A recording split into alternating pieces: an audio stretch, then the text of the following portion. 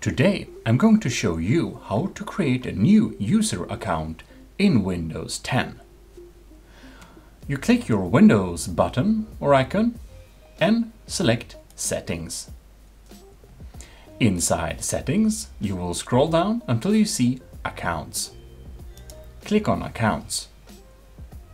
Here under Accounts, you choose Family and Other Users.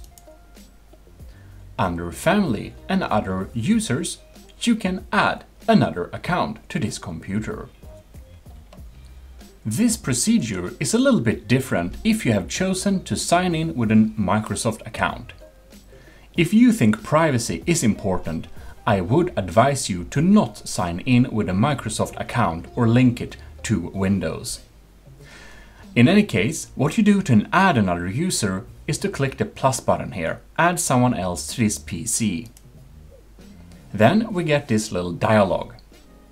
If you have chosen to link your Microsoft account to this computer, you might get the option to sign in with a Microsoft account, another account. Uh, you can do that also, but you can also click another option and select to create a local account instead. Then you will get to this page where you can write in a username. Then you will write in a password. Write in the same password twice. If you want a secure password, it should be at least 8 characters, contain small and big letters, a number and a symbol. Then you'll have to fill in security questions for your password in order to make it recoverable. When you have filled in these fields, you click Next. And now the local account is added. If you want this account to also be an administrator on the computer, you go to Change Account Type and select Administrator and then click OK. You can also degrade it to a standard user.